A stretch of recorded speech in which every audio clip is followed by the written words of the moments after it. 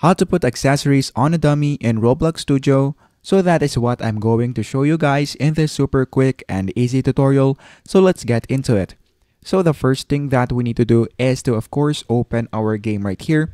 And once we open our game, of course we want to add a dummy. So what we're going to do here is to go on the toolbox and then on the search bar, just search for dummy right here and then you can choose whether you want to add an R6 or an R15 dummy.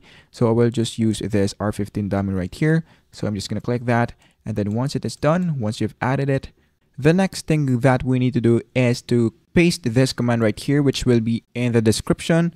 So just check it right there down below. So just paste it right here on the command. So if you don't have this right here, all you have to do is to go on the view tab and then click the command bar and then you should now be able to see it. Just go right here and paste it again. And then once you have now pasted it, the next thing that we need to do is to go on the Roblox Marketplace. So once you're now here, so just go on the accessory you were in you want to add on your dummy. So let's say for example that we want to use this, this double gold money chain right here. So all you have to do is to go on the search bar and then select the numbers, which is right here. So copy this. And then once you are now done, go back on your Roblox Studio and then on this part, inside this open and close parentheses, just paste it right here. And then once you do that, just click enter.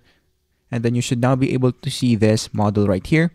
So what we're going to do is to click the drop down section and then on the accessory, click that click this drop down again and then on the handle make sure that you have this locked option turned off. So make sure that you have turned that off. And then once you do that let's do this drag this accessory and then drag this into R15 dummy. And as you can see we now have added an accessory into a dummy in our Roblox game. So that is basically it. That is how to add an accessory on a dummy in Roblox Studio